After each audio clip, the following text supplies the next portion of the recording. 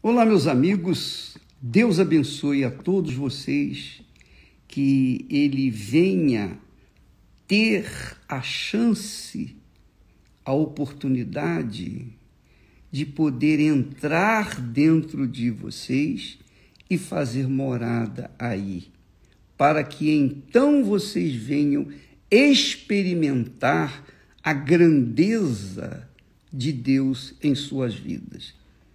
Talvez você seja aquela criatura que tenha vasto conhecimento a respeito do Senhor Jesus Cristo. Você tem vasto conhecimento a respeito do Espírito Santo. Você conhece a Bíblia de ponta a ponta. Mas se você não conhece o autor da Bíblia, se você não conhece o Senhor Jesus pessoalmente, pessoalmente, como é que você pode amá-lo? Como é que você pode servi-lo? Como é que você pode aceitar e obedecer às suas palavras? Não pode. É preciso que a pessoa realmente tenha uma experiência pessoal com ele. Nós procuramos levar às pessoas essa fé Primeiro você tem que conhecer o Senhor para que então você possa crer nele, obedecer a sua palavra, etc, etc. Então muita gente, infelizmente, vive uma vida religiosa, caridosa. São pessoas boas, sinceras, mas não conhecem o autor da vida. Foi o, o que aconteceu com o apóstolo Paulo. Ninguém era mais zeloso na sua fé do que o apóstolo Paulo.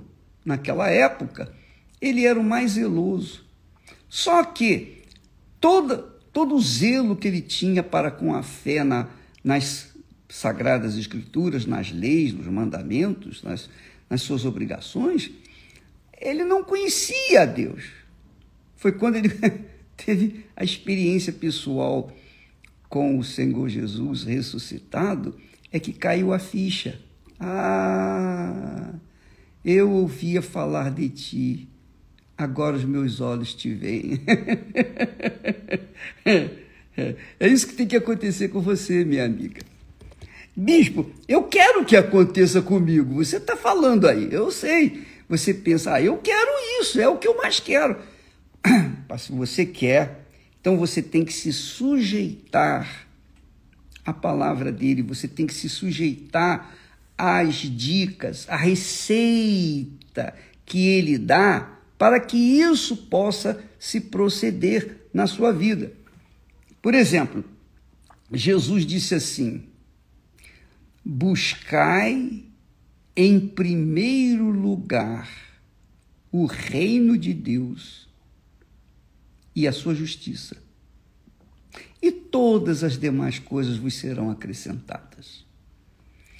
Primeiro, você tem que buscar o reino de Deus. Você não conhece o rei, você não conhece, não sabe o que é o reino de Deus.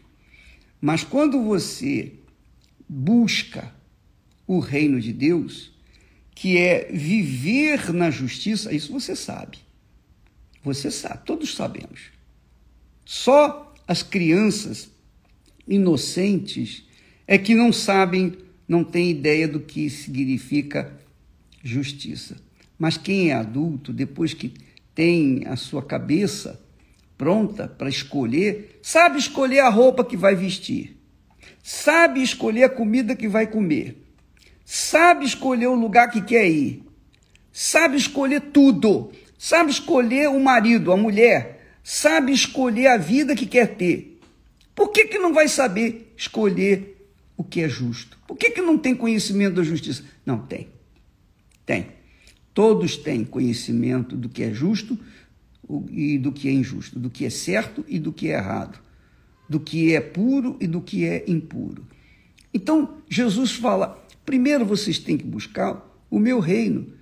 Porque quando vocês buscam, isto é, buscar o reino de Deus é assim: você começa a pautar a sua vida dentro de uma disciplina. A disciplina, a ordem do reino de Deus. Porque o reino de Deus é paz, é, é disciplina, é ordem. Por isso que há a lei, a lei de Deus, há os mandamentos, há as palavras de Jesus. Então, você que me assiste nesse momento, você quer buscar e não sabe como, então você tem que priorizar, fazer as coisas certas. Então você hoje, por exemplo, segunda-feira, nesse momento são sete e meia, nesse momento. Então, o que, que você vai fazer agora? Ah, eu vou tomar café. Então, você vai escolher o que você deve comer, não é verdade? Você vai escolher o que vai se alimentar, se você puder. Então, veja que essa escolha é uma coisa sua, pessoal, depende do seu gosto. Mas aí tem, depois você vai ter que colocar uma roupa para sair, para trabalhar e etc. Qual é a roupa que você vai colocar? Então, se você é mulher e quer, bom, eu quero colocar uma roupa hoje, terça-feira, eu quero colocar uma roupa que venha é, chamar a atenção das pessoas. Eu quero que as pessoas me notem.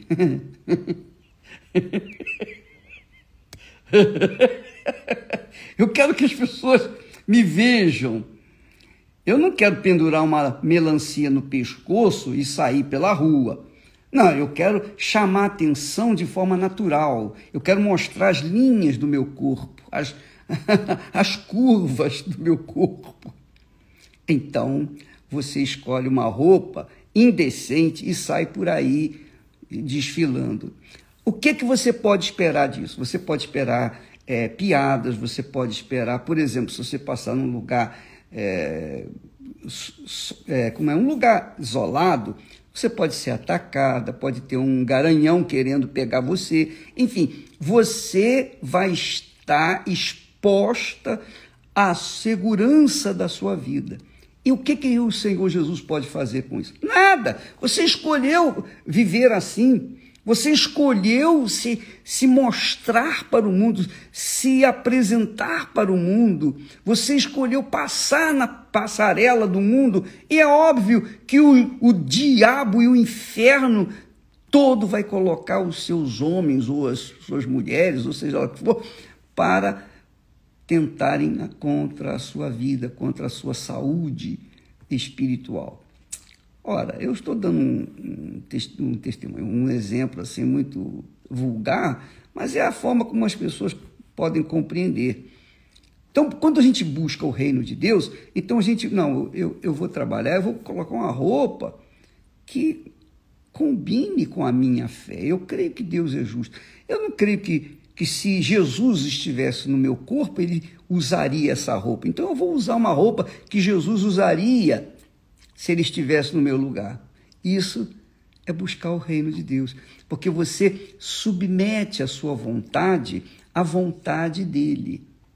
Você submete o seu caráter segundo o caráter dele. Então, isso é o que? Você está caminhando na direção do reino de Deus. E é óbvio que você vai ser, vai encontrar com o Senhor Jesus. Minha amiga, meu amigo, essa é a cruz que nós temos que carregar. Jesus disse então: buscai o reino de Deus.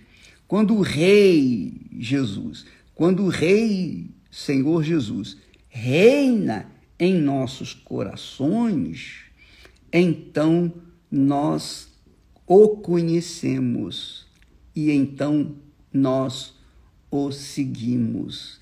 E então ele nos leva aos pastos verdejantes mas você tem que buscar.